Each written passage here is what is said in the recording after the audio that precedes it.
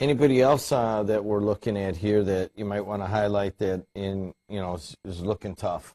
Well, uh, you know, I, I feel like we're going to be right up there with the, Oh, with the top guys. we know that, Uh, you got Chesterton, uh, Gary Westside, Andrean has a lot of the kids coming back from their 2A state championship team. We play them later in the year, usually for the conference championship. Yeah, that's the, that's. I think you got Gary Westside, Chesterton, and Andrean in one, two, three right there. I mean, Yeah. that's going to be one hell of a stretch. Yeah, that's that's in uh, February, which hopefully, you know, the, the the thought behind that is that's going to prepare us for the tournament. You know, that's that's uh, two weeks later.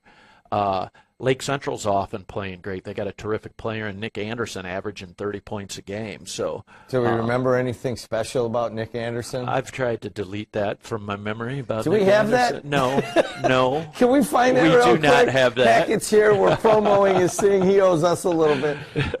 Nick Anderson, as a sophomore, I think he's a, he's a senior now. Yes. His dad went and played for Munster, and uh, that's Kevin Anderson's kid, I believe. I was not aware of that. You did not know that? Yeah. Well, Kevin Anderson married uh, one of the Marciniks out of uh, Morton. You probably the Marciniks. Yeah, yeah, you know the Marciniks. So you put kind of basketball royalty and basketball royalty together.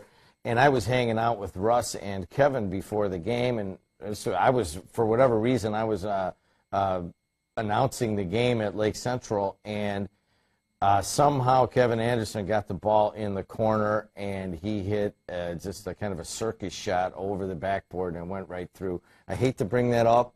Yeah, thank you, Jim. I, I, get up in the morning, I come here, and then you got to bring up that painful memory. Well, you brought up Nick Anderson. I gotta bring. I gotta put up the the context. You take Kevin Anderson and you put a Marcinik together. You're gonna have a good basketball player. He is what I mean? definitely a good basketball player. Yeah. So Lake Central's looking good. Yeah. Uh, Lowell, anybody down that way? Crown Well- Point's good again. Well, yeah. Crown Point's young. They're young. Uh,